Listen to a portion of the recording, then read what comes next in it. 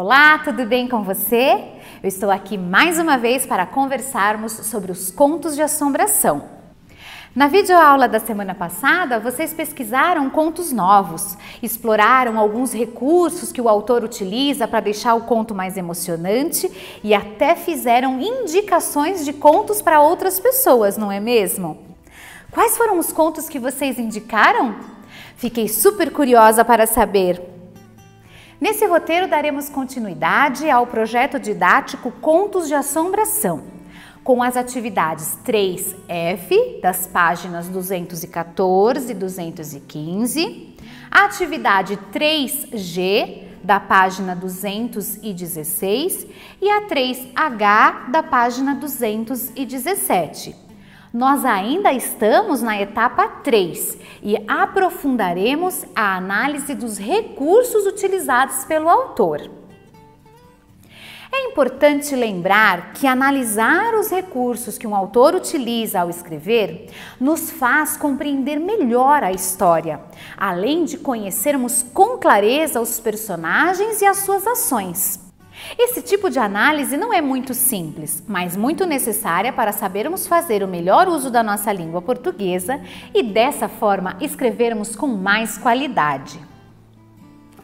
Por isso, nós vamos fazer esse nosso projeto e as análises com calma e bem devagar, parte por parte, tudo bem? Primeira atividade, atividade 3F. Primeira parte compreendendo melhor os aspectos linguísticos utilizados nos contos de assombração.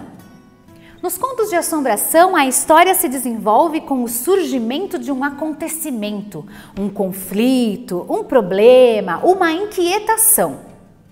E por ser um conto de assombração, normalmente serão acontecimentos que assombram, acontecimentos de suspense, de medo, a história se constitui em cenas misteriosas, inesperadas, surpreendentes, dinâmicas e até enigmáticas. O conto de assombração, como toda narrativa, organiza essas cenas da seguinte maneira: exposição do assunto, o lugar onde os fatos acontecem, a intriga e a complicação, o clímax e o desfecho. E é cada ponto desse que nós analisaremos na atividade. Mas antes, vamos fazer um exemplo juntos. Para esse exemplo, usaremos a adaptação do conto O Fantasma da Quinta Avenida de Jerônimo Monteiro. Ele começa assim: apresentando o assunto, o lugar onde os fatos acontecerão, os personagens principais e o fato assombroso. Eu vou ler só o comecinho para vocês. O Fantasma da Quinta Avenida, Jerônimo Monteiro. 1. Um, aparece o fantasma. Dick Peter chegou à casa de Mary às 8 horas da noite. O Sr. Patrick havia saído numa viagem e Dick foi introduzido num luxuoso salão de visitas. Seus olhos não se despegavam da escadaria de mármore por onde Mary costumava descer com seu gracioso passo e um luminoso sorriso nos lábios. Passaram-se cinco minutos, mas Dick não estranhou a demora. As mulheres, quando se trata de melhorar a sua beleza, não têm muita pressa. De súbito, um grande grito encheu a casa toda. Era um grito de mulher, lancinante, terrível, que provocou no moço um forte estremecimento e lhe deu a viva intuição de que alguma desgraça acabava de acontecer. Dick Peter era um homem de ação e não demorou mais de dois segundos para entrar em atividade. Aos pulos, galgou a escadaria de mármore e chegou ao primeiro andar, onde eram situados os aposentos de Mary. Lá em cima estava tudo em silêncio, mas de baixo vinha um ruído de tropel dos criados que corriam para ver o que teria acontecido na casa sempre tão calma. A porta do quarto de Mary Estava fechada por dentro e Dick descarregou sobre ela uma forte pancada. Ninguém respondeu. Neste momento, os criados chegaram ao lado de Dick, falando todos ao mesmo tempo, assustados, desorientados e cheios de medo. Vejam, o autor começou o conto descrevendo o lugar em que acontecerá a história, na casa de Mary. Mais especificamente, na primeira cena, as coisas que acontecem no salão luxuoso de visitas, que tem uma escadaria de mármore. Quando ouviu o grito aos pulos, Dick galgou a escadaria e foi para os aposentos de Mary no primeiro andar. Ainda nesse trecho inicial, ele apresenta os personagens principais e os descreve. Já podemos ter uma ideia de quais são, assim como dizem nas novelas, os nossos protagonistas. E nos situa no tempo. Aconteceu à noite e as ações aconteceram rapidamente, logo que o Dick adentrou a casa de Mary. E como fato assombroso e misterioso, ele traz o grito e a porta trancada. Isso nos causa uma certa curiosidade. O que será que aconteceu? Será que alguém foi atacado? Serve de convite para o leitor querer ler mais sobre a história. Algumas coisas acontecem e lá no meio da história surge o clímax, o grande ponto de interrogação da história. Existe um fantasma que ataca a todos nesta casa. Por que será que ele faz isso? Quem é ele? Será que vão conseguir pegá-lo?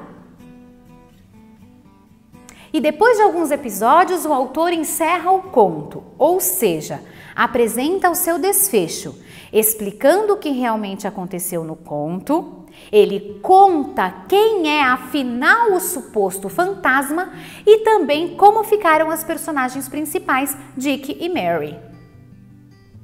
Aqui eu peguei só alguns trechos do conto para exemplificar o que precisam fazer.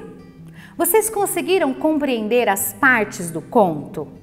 Se quiser, você pode voltar à videoaula e pausar cada uma das etapas do texto e realizar a leitura. Pode ajudá-lo a compreender melhor o texto e o que eu estava explicando. Ficaram curiosos para saber tudo que esse fantasma aprontou? O quanto ele assombrou as pessoas desta casa? Eu prometo que numa outra oportunidade eu conto para você.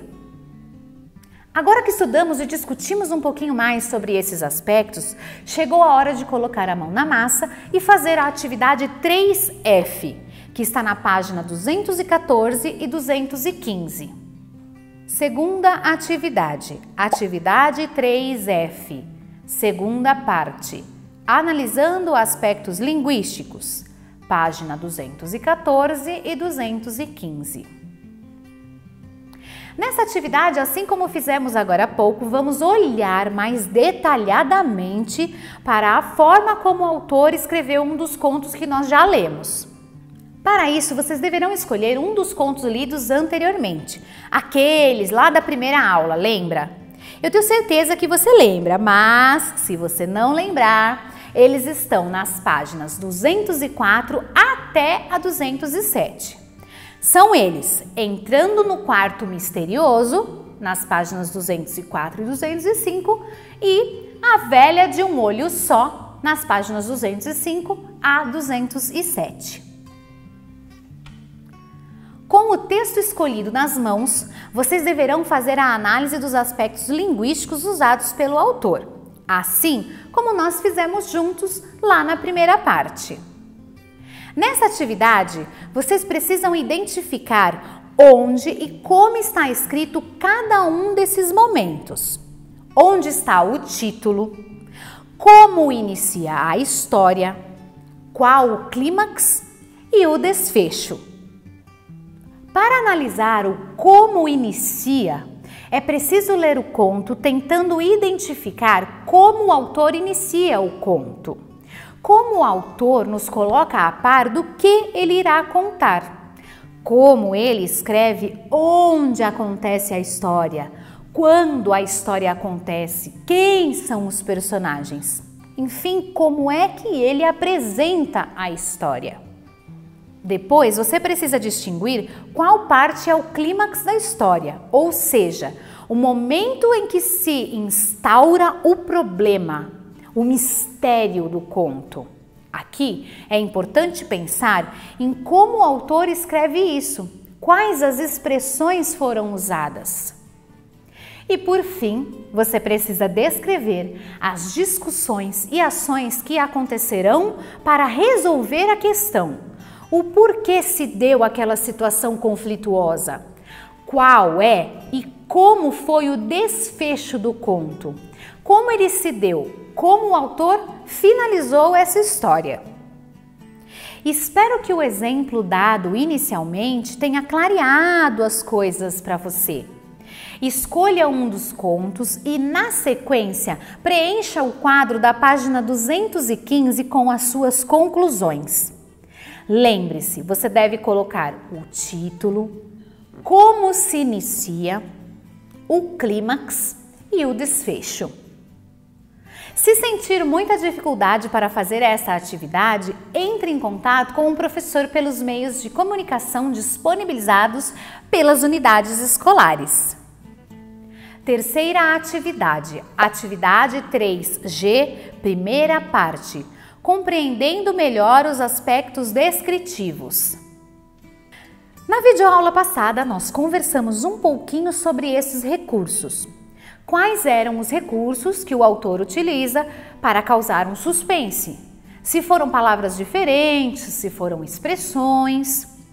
Ainda verificamos se para descrever os personagens ele usou características físicas, como por exemplo, tinha os cabelos longos e negros, ou características psicológicas, era uma senhora muito medrosa.